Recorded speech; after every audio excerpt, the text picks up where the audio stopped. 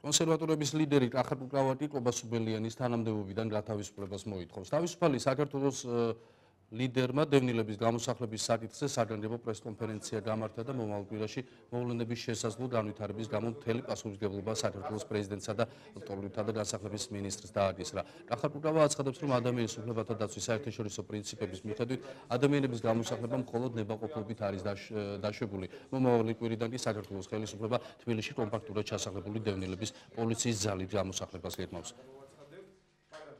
იმავდროულად სახალხო დამცველის წარმომადგენელმა დაადასტურა ის ფაქტი, რომელიც ჩვენთვის კარგადაა ცნობილი, რომ მომავალ კვირას იგეგმება დევნილების არა ნებაყოფლობითი, არამედ ძალადობრივი გზით პოლიციის საშუალებით გამოსახლება.